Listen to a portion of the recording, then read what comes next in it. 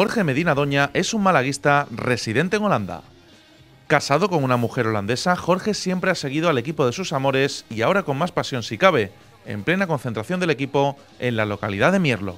Sí, vivo a, bueno, a 200 kilómetros de aquí, más o menos, y pues eh, me ha traído el amor más que nada. Por el Málaga me da igual, que si me tuviera que hacer mil en carretera me lo haría también.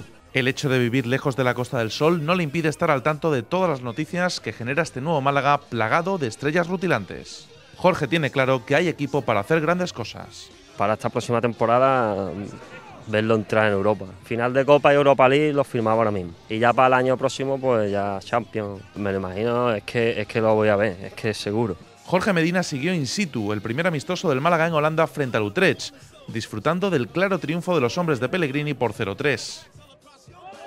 Van Nistelrooy, uno de los goleadores ese día, es el gran reclamo del conjunto malaguista en tierras holandesas.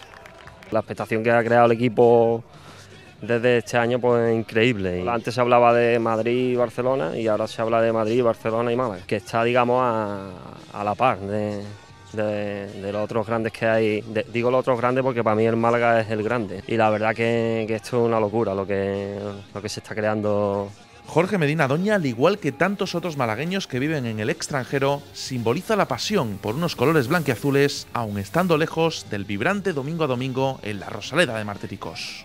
Lo que echo de menos es esto.